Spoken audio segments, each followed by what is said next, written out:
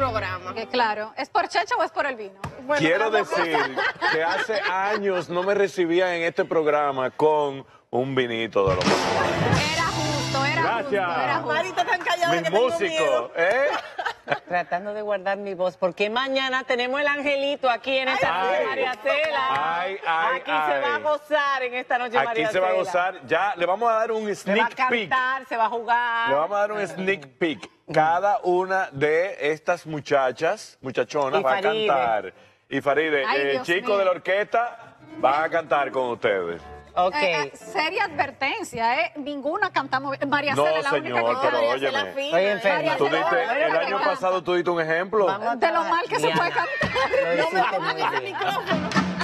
Bueno, Carolina, te toca mañana. Metas para el 2020, todos nos hacemos una lista, nos hacemos metas, nos ponemos ya, metas ya, y ya, hacemos ya, una ya, lista. ya, ya, Muy poca gente las revisa al final del año. Yo las revisé el otro día. ¿Y cuántas cuántas lograste? Lo más interesante que es para mí la vida.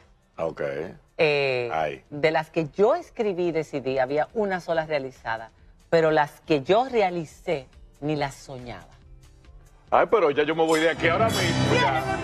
Vámonos, señores, hasta aquí el programa del día de hoy. ¿Tú viste, eso, eh? Y rimó y todo.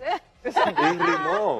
Está preclara, Bueno, María Cela. Ustedes saben que ya estamos en diciembre, la gente comienza a planificar todo lo que va a pasar el año que viene, la gente ni siquiera hace un recuento de las cosas que dejó Yo de necesito que se hacer. acabe este primero. Sí, no, pero tú sabes una de las cosas que me llama la atención, que la gente espera como el principio de año para hacer metas o para proponerse cosas Con cuando la resaca sí, del día o los primero. lunes. El día primero con no como más después del lunes, no bebo más después del lunes, voy al gimnasio el lunes, todo el lunes o el año nuevo. Pero resulta que hay una serie de cosas y de métodos que ayudan a la gente a conseguir eso que quieren, porque el cerebro necesita estructura, eso es lo primero. Tú no puedes comenzar a dar eh, palo a ciega porque no va a llegar a ninguna parte, entonces tú necesitas, y creo que lo puse aquí el ejemplo una vez, de que si nos vamos de fin de semana, ustedes no saben para dónde vamos, no sabemos qué vamos a meter en la maleta, pero si yo le digo a ustedes vamos para Jarabacoa, entonces ya metemos, tú sabes, un abriguito, un cuello de tortuga, no sé qué cosa. Así es que hay varios pasos que podemos dar para nosotros conseguir eso que queremos. Por ejemplo, vamos a suponer que usted quiera ganar más dinero el año que viene. ¿Tú quieres ganar más dinero el Todo año que el mundo viene? quiere ¿Quién ganar no? más No, dinero. yo no sé, porque a lo mejor... Pero honestamente, Sí, Ah, claro, no, claro, claro, Ser más claro. productivos, digamos. Ya. productivos. Ay, sí, pero Lo más importante, trabajo, no, no, lo más importante de todo es que antes de dar estos pasos que vienen a continuación, tengamos esa meta clara y mientras más clara mejor. Por lo mismo, porque si nos vamos de fin de semana para Jarabacoa, sabemos que vamos a meter la maleta. Ok.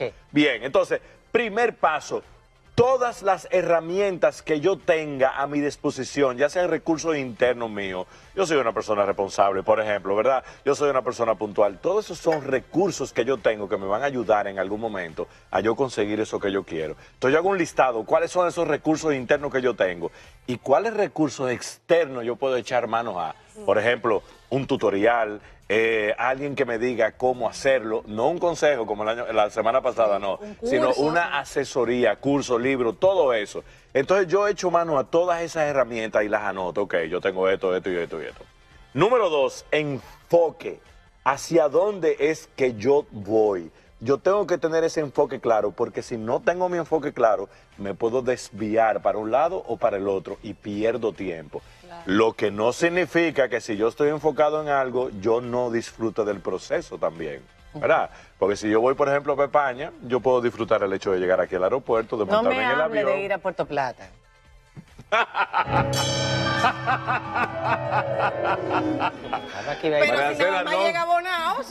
Ay, ay, ay, ay, ay. Mire, yo, bueno, en fin. Diana me mira, ¿y qué te dio? No, porque cuando yo voy para España, no me voy a que en el pre... Me, acordé. Tranquila, sí, Es sí, que oye, eso. pencosofía- Es que esa, Es esa palabra. Eh, No, no, no solamente que es difícil, sino que eso ha impactado a un pueblo completo. Bueno, claro. entonces, paso número tres, la pasión. Oigan bien, es necesario apasionarnos por eso que nosotros queremos.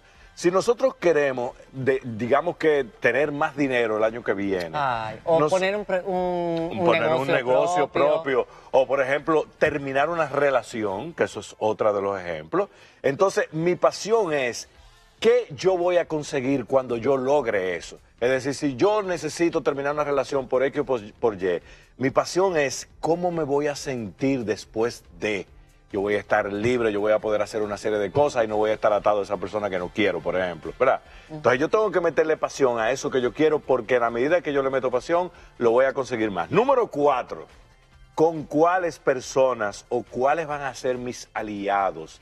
¿Quién me acompaña en ese proceso? Muchas veces uno llega a los sitios y no llega solo. Siempre hay alguien que te echa, la- tú echas la mano, hay alguien que te Sí. apoya, hay alguien que es tu canchanchan, o hay una empresa que tú dices, bueno, pues yo me voy a asociar a esta gente, me voy a asociar a Diana, porque Diana probablemente con ese foco que tiene me puede orientar.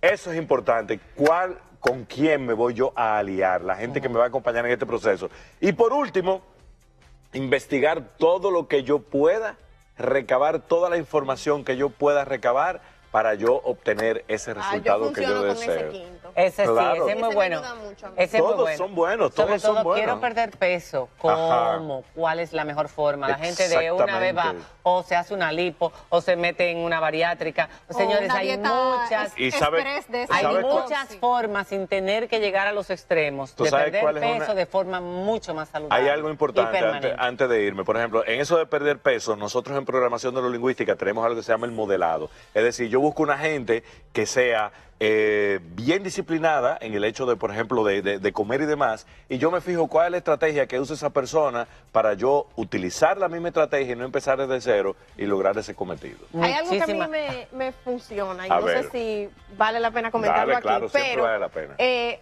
se dice que para crear un hábito toma aproximadamente tres meses de constancia. Supuestamente 90 son días. 21 días, Nah, otros dicen eso es 60 y pico de días. Bueno, Sí. yo lo que hago Teoría. es que intento todo lo que yo, la conducta que me va a llevar a mi resultado, Sí. esa conducta la intento por 100 días. Ok. Y hago 100 días porque cada día es un 1%. Después que Claro, yo llevo el 10 y como ya Carolina. llevo el ¿Te 10, ha me voy a dar una- ¿Te Me ha ha funcionado súper bien. ¿Se ha convertido en hábito? Se ha Ya, convertido en listo. hábito. Pues Señores, es a lo partir- mismo con todo, con la alimentación, Todo. con ir a... Así Todo. hice lo de Es alimentarme, eso. así hice lo del Con hacer gimnasio. ejercicio, Es lo crear hábitos, crear y yo voy hábitos, a poner crear la hábitos. coletilla, dejar siempre el espacio para lo que el universo, el destino, Dios tiene para ti.